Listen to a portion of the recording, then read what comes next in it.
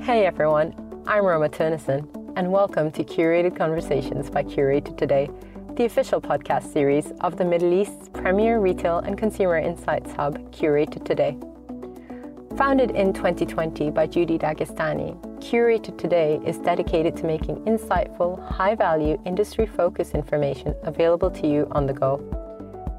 Curated Conversations extends that brand ethos, addressing real life challenges and trending topics with some of the region's most prominent movers and shakers who share their knowledge, experiences, and stories to make sure you have everything that you need to navigate the changes we face in the industry today. Real insights, real experts, and real conversations. That's our promise. Prepare to be inspired. Hey everyone, welcome back to Bite Size Conversations.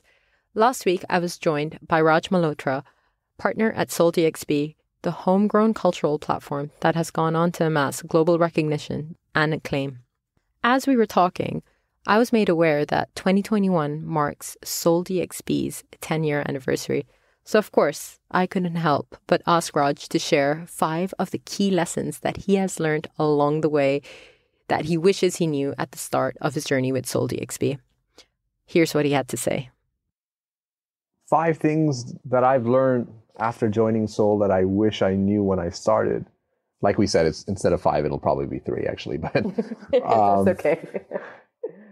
I would say embracing uncertainty and learning to live with it and not assuming that if something's uncertain, it will always fall on the wrong side because I think embracing uncertainty comes with a sense of optimism, believing in luck, and knowing that hard work is super important, but that you know you don't live and operate in a vacuum, mm-hmm. and maybe that helps you let go a little bit. And probably the most important thing I've learned since I've joined the company is understanding who to listen to for advice. And knowing that a technical qualification is not the only reason that you should be listening to someone. And it's not just a function of, of being within the organization, but also a function of getting a little bit older and seeing people's track record for advice in your life. And actually, one more thing, the last thing I would say is that, you know, really embracing the idea that not everything has to last forever. And if that is a foundation on something you believe, then you can build for the best possible quality as opposed to just longevity. Is there any habit that you have managed to introduce into your life? It's been a long journey so over the last nine years yeah. that you have felt has really helped kind of keep you on track in terms of where you want to go on a longer perspective? Sleeping. yeah. That's, really? that's yeah, absolutely. You're such a New Yorker. Uh, yeah, I mean, I've I've uh, I really used to not value sleep. I would do uh, up to four in the morning every day, be up at like eight thirty or nine, and bringing a full night's rest into my life has changed work for me. And in addition to that, what I'd also say is like just trusting in my partners on a regular basis and checking in with them, not only professionally, but emotionally for each other has, I think, allowed us to have a support system that most people can't ever look to in their professional life. And I think that makes us better at what we do. I couldn't agree more. I have that with my uh, partner at Curated. She's actually one of my really, really good friends. Um, yeah. She was a good friend when we started. Now we've become super close, but it is because we work really well together as a team. And it is about exactly, as you said, checking in professionally, but also personally and just having those honest conversations when they need to be had.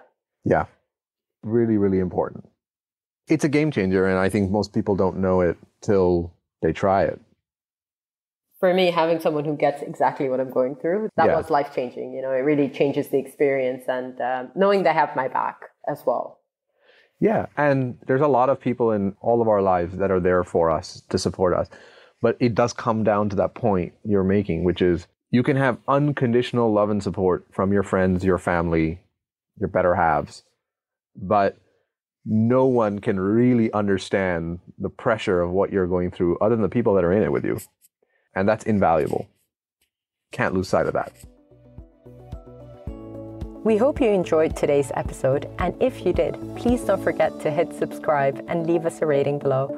Also, make sure you head over to www.curatedtoday.com and sign up for the official Curated Today newsletter to have timely regional insights and data delivered directly to your inbox. Thanks for tuning in.